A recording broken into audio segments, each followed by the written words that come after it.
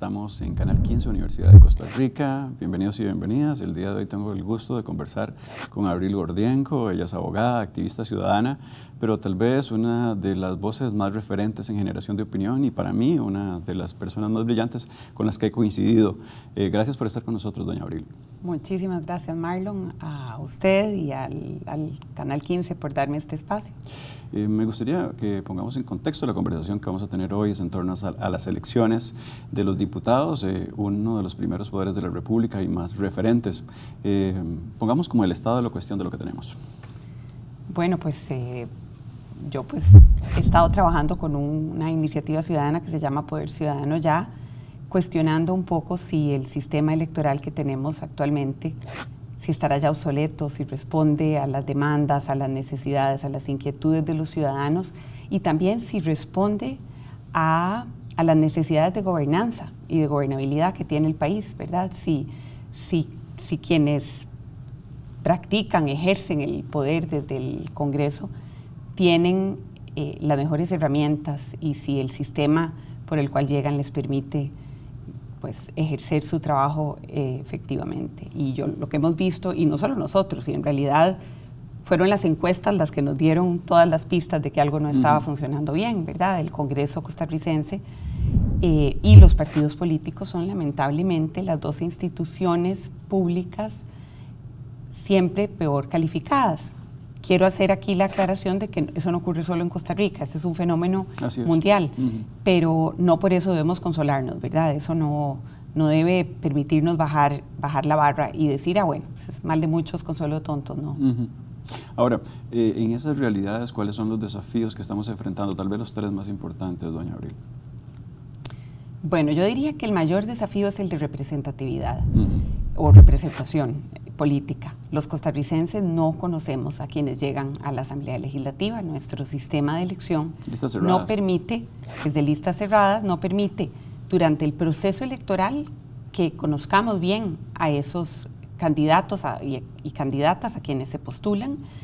Y, luego también en el ejercicio del poder, al pasar a ser diputados nacionales, no tienen em, electorados específicos a los cuales ellos se deban.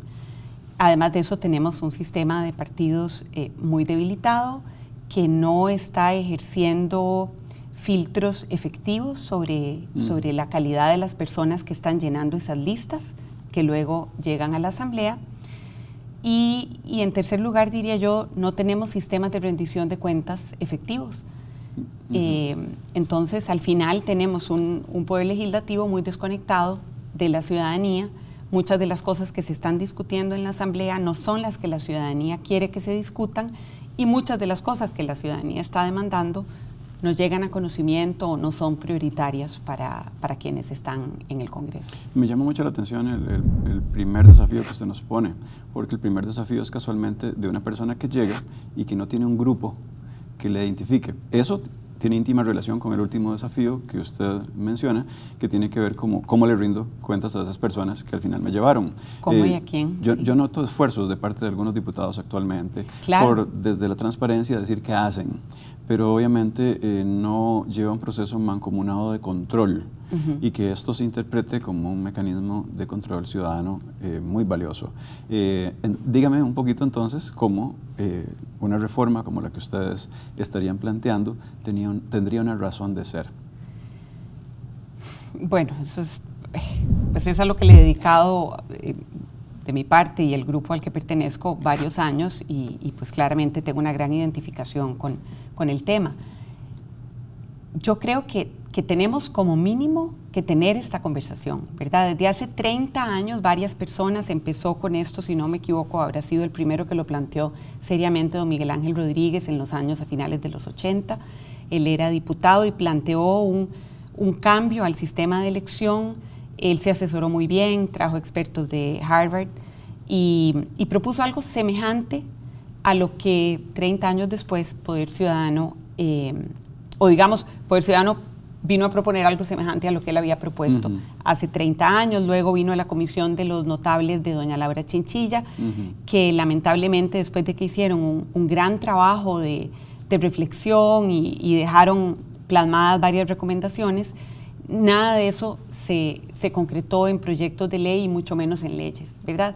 Pero el tema se viene hablando porque hay descontento, porque cada vez, y esto lo mide el Latinobarómetro y otros eh, índices internacionales de democracia, cada vez el costarricense se siente menos apegado al sistema democrático, cada vez se siente más desilusionado y siente que la democracia no le está resolviendo sus necesidades personales. Y eso tiene, según desde nuestro punto de vista, tiene mucho que ver con la forma como los elegimos, porque precisamente es como uno de mis compañeros del grupo lo, dice una metáfora que me encanta. Es como si los partidos políticos alistaran buses con los vidrios eh, polarizados, que la gente no puede ver qué va adentro, meten a sus candidatos y mandan el bus a la asamblea, ¿verdad? Y allá se bajan los que, la cantidad que resultó electa. Entonces, verdaderamente el proceso de, campaña electoral está en Costa Rica muy centrado en el presidente de la República, que se lleva por arrastre determinada cantidad de diputados. Entonces vemos cosas como que no solo no conocemos a los que llegan, sino que además en un sistema como el actual, tan fragmentado, eh, donde tenemos una gran cantidad de, fracciones políticas diferentes, donde tenemos un poder ejecutivo con una fracción política sumamente pequeña, además la más pequeña, si no me equivoco, de la historia del oficialismo, de un oficialismo, eh, todo eso son señales de que el sistema necesita ser revisado, necesitamos, es así como abrirlo, ponerlo al sol y, hablemos de todo sin mm. sesgos, sin prejuicios y sin temor. ¿Sabe qué es lo más grave? De toda la revisión que hice para esta conversación, que incluye encuestas, eh, hay un desazón de la gente. Y esa ciudadanía lo que dice es que la democracia le está fallando. Me queda un minuto. ¿Qué opina usted? Eh, ah, eh, sí, Eso dice la democracia nos está fallando. Eso es grave, doña Abril. Así es, por supuesto. Y bueno, hoy eh, en estos días salió una encuesta del, eh, del CIEP que confirma eso. Que, Así es. que aunque todavía, digamos, el grueso de la población todavía tenemos vocación democrática, ya no es tan firme, ya no es tan sólida. Eh, se nos está erosionando el tejido social y eso también atenta contra la, la capacidad de la democracia de resolver nuestros problemas y de mantener sobre todo nuestra lealtad. Así es, así es. Estamos con doña Abril Gordián con una voz autorizada para hablar temas ciudadanos y sobre todo eh, creo que pone de manifiesto algo muy importante, aquella reflexión que traía hace más de 30 años don Miguel Ángel Rodríguez, la traía una iniciativa ciudadana que se preocupa por llevar una reforma para la elección de los diputados. Y creo que la metáfora del amigo doña Abril merece la pena y es que en ocasiones elegimos a personas que van casualmente en autobús polarizado como si fuera una limusina y cuando llegan a su destino nunca, nunca van a ser contestatarios a quienes le eligen. Estamos en 360 con la carga de Doña Abril hablando de procesos electorales. Siga con nosotros, por favor. Ya casi regresamos.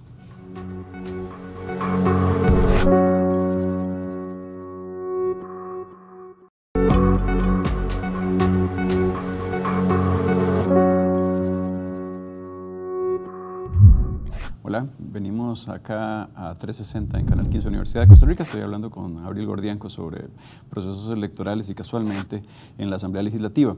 Eh, doña, doña Abril, hay algo que mm, es eh, fundamental en estos tiempos y es que el sistema es deficitario. Yo lanzo un hashtag que puede ser más preocupante, que es casi eh, llamarle colapso. mucha gente en encuestas habla de crisis y como decíamos en el bloque anterior, la democracia nos está fallando. ¿Cómo podría usted etiquetar ese sistema deficitario para que le hablemos a la ciudadanía ahora casualmente de esto que para usted es fundamental, que desde poder ciudadano de algún modo se hace? Obsolescencia tal vez, o falta de representación y falta de capacidades. Que hay que tener clarísimo, a nosotros los costarricenses nos confunde un poco el tener un sistema presidencialista, porque entonces enfilamos todas las esperanzas en aquel o aquella persona que es electa presidente. Y esperamos que resuelva todo. Y la verdad es que tenemos un presidencialismo muy debilitado, lleno de controles, de frenos por todas partes.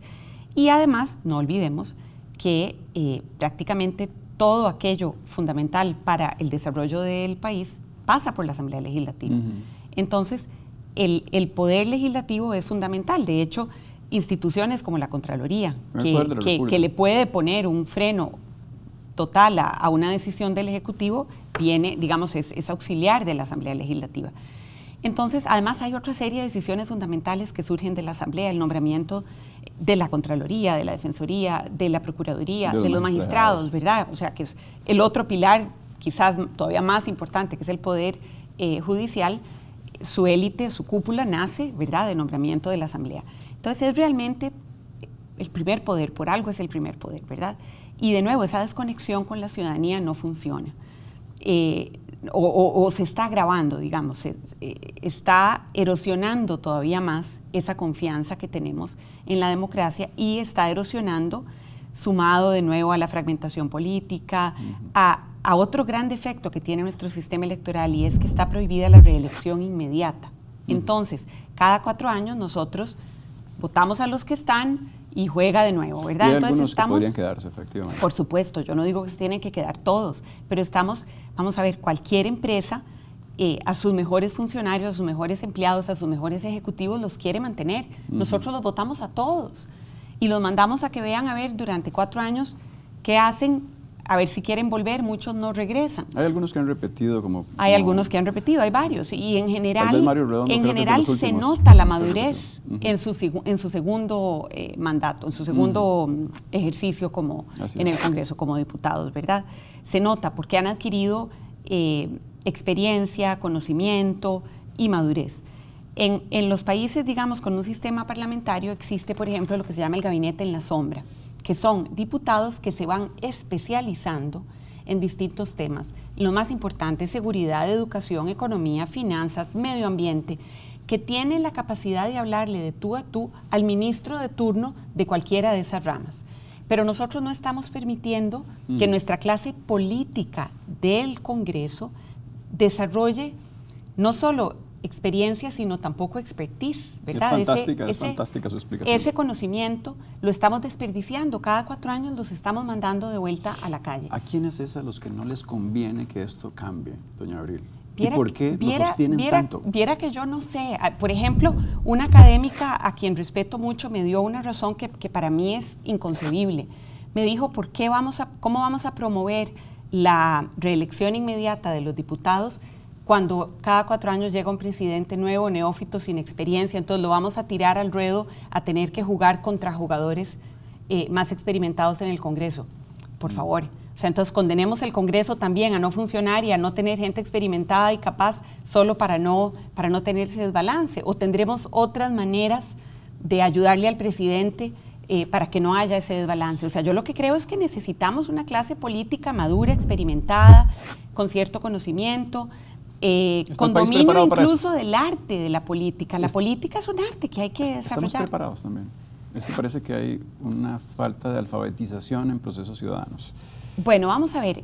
Los sistemas electorales per se como, como tema es muy técnico, ¿verdad? Pero ciertamente también tenemos una, una cultura ciudadana poco participativa y eso eh, yo sí creo que es importantísimo que lo fomentemos, que, que los ciudadanos que estamos tan descontentos y fácilmente expresamos el descontento en las redes sociales cada vez de manera más alta, ¿verdad? Con más fuerza, no nos quedemos solo en expresar el descontento, sino en involucrarnos, en actuar, ¿verdad? En hacer algo para cambiar todo eso que no nos gusta. Voy a dar el salto. Ustedes han estudiado casos exitosos, pero no solamente de la mano de esos casos exitosos, tal vez los dos más importantes, el eh, que nosotros tenemos, que es la proporcionalidad, que tiene que ver con la lista esta cerrada, y los otros que son de representatividad, podríamos decirlo, sí, o mayoritarios. Los sistemas mayoritarios, que, que, que como el de Estados Unidos o como el de Inglaterra, donde la gente, pues sí, tiene una, representación muy directa, un conocimiento muy cercano de quién es su representante. ¿Cómo se explicamos en fácil a, la ciudadanía? Pues los sistemas mayoritarios es, en un país se divide en distritos electorales y, los eh, ciudadanos de cada distrito votan por una persona o dos personas, depende si es uninominal o binominal, eh, por una persona que los represente en ese distrito y esa persona tiene que estar incluso viniendo cada cierto tiempo a conversar con sus electores. Eh, hay una, una, conversación permanente, directa, entre el electorado de, este, cada uno de, de, los diputados. Ese es el sistema de la Cámara Baja o de lo que se llama el Congreso en Estados Unidos, luego existe el Senado, que eso es otra cosa. El sistema proporcional como el nuestro, pues la mayoría de la gente lo sabe, pero no cae mal repasarlo. Los partidos presentan listas cerradas de candidatos por provincia. Entonces se supone que a mí me representan los candidatos de San José porque yo vivo en San José, pero la realidad es que si usted me dice que yo diga la lista de todos los candidatos por San José, la verdad es que se me vienen a la mente dos o tres, no los conozco a todos. O sea, y en general conozco bastante bien eh, los nombres de los diputados, pero realmente no sé cuáles son de San José y cuáles no. Porque no hay esa práctica, esa, porque el sistema de listas cerradas no favorece eso, no favorece esa cercanía.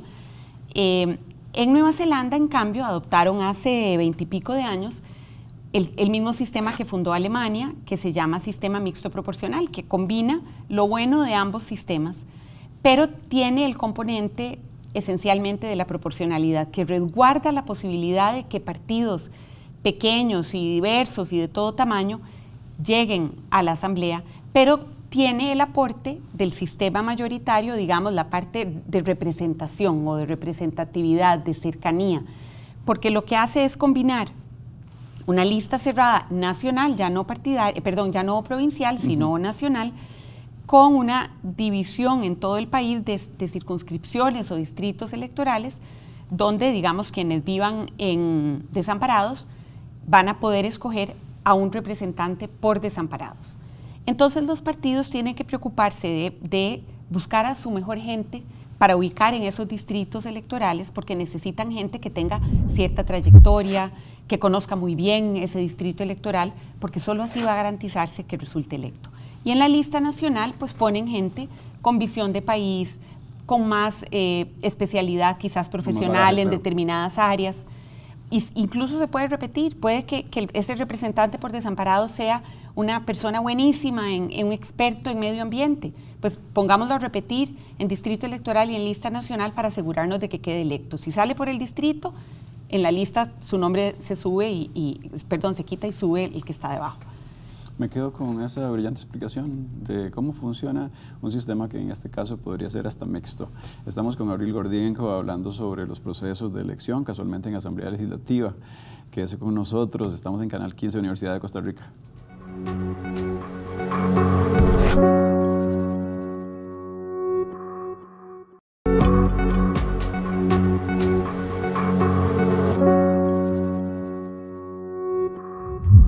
Regresamos, estamos en 360 y casualmente le hacemos honor a don Rodrigo Facio conversando sobre la importancia de los procesos electorales y casualmente en asamblea con doña Abril Gordianco. Eh, nos preocupa mucho, doña Abril, cómo hace uno efectivo esos procesos de participación y lo decimos en sentido crítico. Hoy por hoy la gente eh, tiende a no involucrarse y nada más cada cuatro años va y vota por un grupo de personas.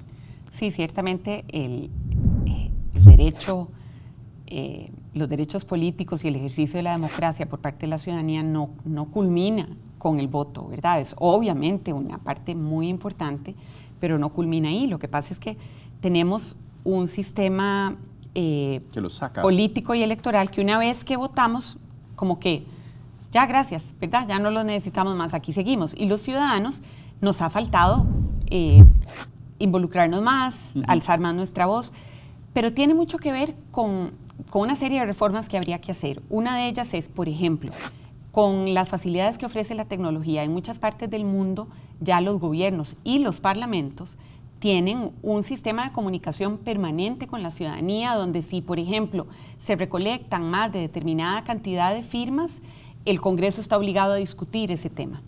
Y no estamos hablando de ir a un referendo, sino de algo mucho más simple, que es a través de en mi computadora yo firmo eh, someto este tema a discusión y si tiene tantos eh, apoyos, el gobierno, perdón, el Parlamento estaría obligado a discutirlo.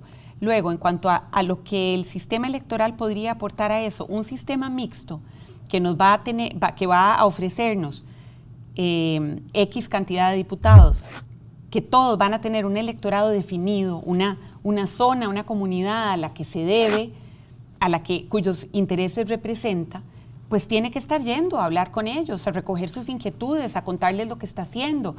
Eh, y no solo a través de redes sociales, no es posible que dependamos solo de que un diputado o una diputada tengan una cuenta de Facebook o una cuenta de Twitter y, suban eh, lo que están haciendo o suban también comentarios de lo que hicieron el fin de semana. No, tiene que haber canales más eficientes y también canales personales. Eh, los diputados de deberían ir más, acercarse a la ciudadanía, pero con un sistema que los convierte automáticamente en diputados nacionales, que solamente algunos partidos les asignan comunidades para que los representen, que incluso puede ocurrir, porque como es arbitrario, puede ocurrir que dos partidos asignen diputados para ir a la misma zona. Entonces hay zonas que tienen diputados que van cada cierto tiempo allá a conversar con la gente y hay otras zonas que no, solo nunca han llevado un diputado, nunca han elegido a, un representante a la Asamblea Legislativa, sino que no tienen nadie asignado para revisar sus necesidades. Ahora, yo le he manifestado a usted algo que me preocupa y es que casualmente en ese proceso electoral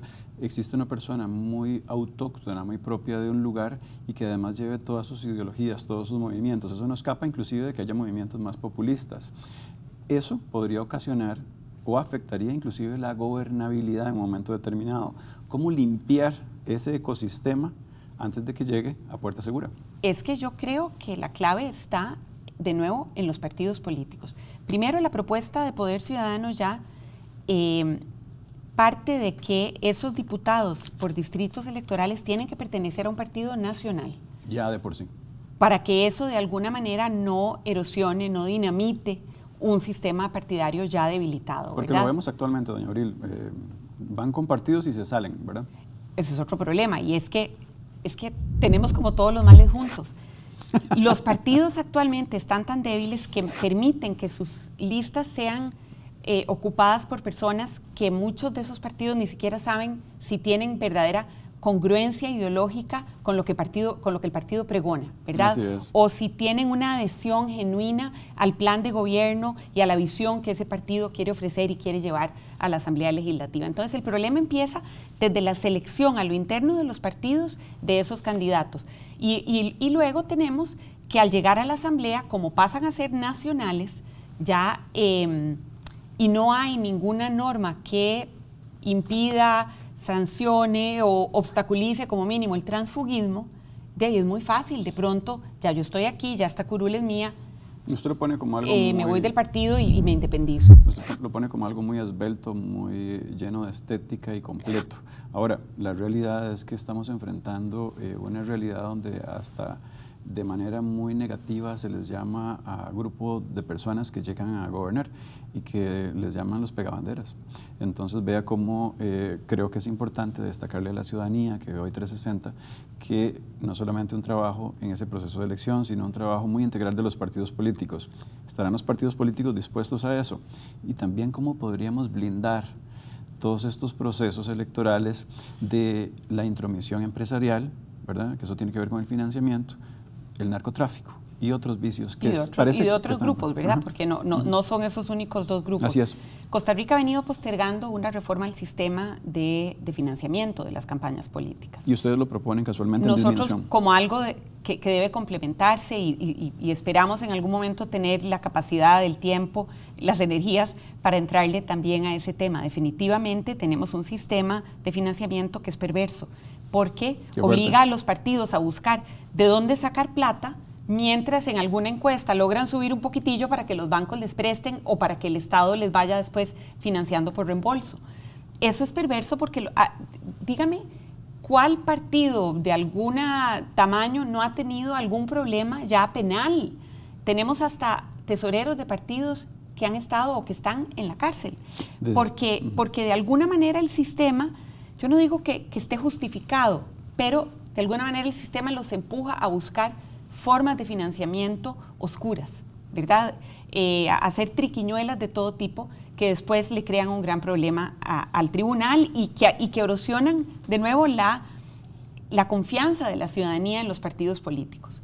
Un cambio en la deuda política, entonces, doña eh, Un cambio en el sistema de financiamiento de los partidos políticos. Los partidos políticos tienen que revisar, si usted me decía, ¿estarán dispuestos a hacer los cambios?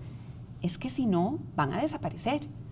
Van a muchos de los partidos que ahora están en la Asamblea Legislativa, si no comienzan a profesionalizarse, si no comienzan a preparar a su gente, a sus militantes, a sus cuadros, a sus aspirantes, dándoles congruencia con la ideología que el partido representa, dándoles incluso conocimientos básicos de cívica de, y de muchas otras materias. Qué pena, es que se nota. Esos partidos, muchos de los que están hoy o algunos de los que están hoy, no solo representados en la Asamblea, sino por ahí todavía vivos, pueden desaparecer. Pero lo grave sería que llegue aquí un populista, un candidato populista que ofrezca, que se aproveche de ese mar de desorden y de incapacidad de, lo que en inglés llaman delivery, ¿verdad? De, producir aquello que la ciudadanía está esperando, todas esas soluciones. Puede llegar un populista y, y entronarse, entronizarse en el poder y ahí sí nuestra democracia estaría en serios problemas y nos pasamos creyendo que estamos vacunados contra eso y yo no estoy tan segura. Doña Abril, eh, tenemos campañas a veces muy vacías, pero también de mucho despilfarro. Sí, sí. Eh, eh, de hecho, a veces hasta, hasta sobran de los fondos que se les asignan de parte del Estado sobran. ¿Por qué? Porque el financiamiento privado no tiene límites, que eso es muy serio también. El financiamiento privado en Costa Rica no tiene límite, por eso tenemos que escoger muy bien cuál sistema proponemos. Por ahí anda una propuesta de, promover el voto preferente. Imagínense la cantidad de plata que puede entrar a los partidos políticos si comienza a haber pequeños caciques que están peleando por, tratar de, lograr la preferencia del público dentro de su mismo partido versus además las otras fracciones políticas. Hasta eso es importante a la hora de escoger un sistema electoral, qué riesgos puede traer el control del origen de los fondos, el seguirle la, pista, el cómo se distribuye, si va a fortalecer o va a debilitar el sistema de partidos políticos. Y yo sé que la gente siente que los partidos son los malos de la película, porque claro, nos han decepcionado, nos han fallado, han cometido, los que han estado en gobierno, han cometido errores graves pero los partidos son el vehículo natural de la democracia. Y tenemos más bien que preocuparnos por fortalecerlos. Obviamente la labor empieza por ellos mismos, ¿verdad? Yo creo que doña Abril hoy nos ha llenado de frases célebres el programa de 360. De verdad, gracias por estar con nosotros. Y voy a repetir algo desde la literatura que doña Abril decía, pero en la política. Max Jiménez decía que nunca deberíamos de alimentar un monstruo, que casualmente cuando esté dispuesto a decir sus palabras, casi las incinere de inmediato. Eso parece que está pasando en la política. Y hoy, en 360, lo dijo claro, claro, doña Abril Gordianco, abogada y activista ciudadana, que para mí es una voz autorizada y muy complacida que estuviese con nosotros. Quédense con nuestra programación, sigan nuestro Facebook, nuestro Twitter y por supuesto también nuestra página. Acá hacemos televisión con sentido. Chaito.